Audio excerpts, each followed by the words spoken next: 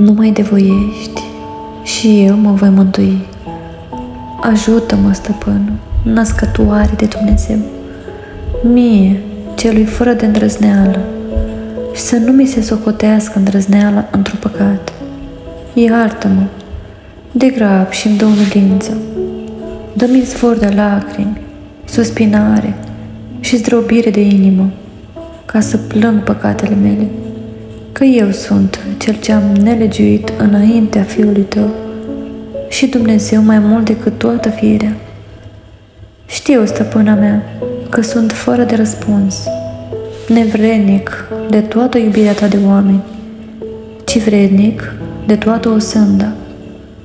De aceea, prin tine, scap la mila Fiului tău, a stăpânului și făcătorului meu cel bun.